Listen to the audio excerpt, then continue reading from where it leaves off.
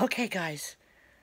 I guess Devin got scared because he just came up here running and handed me the egg and said, stick it in the incubator. It pipped. So now we're waiting. I'll show you what's happening. This is so exciting. All right, we're going to have a baby soon. Okay, hold on. I'll show you what's happening.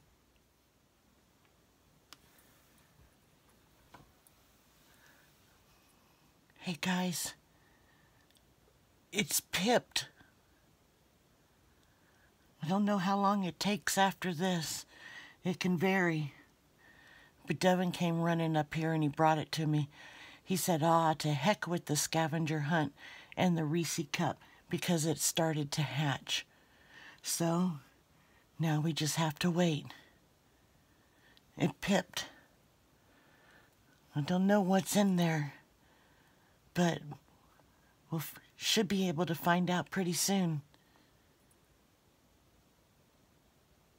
Just have to wait.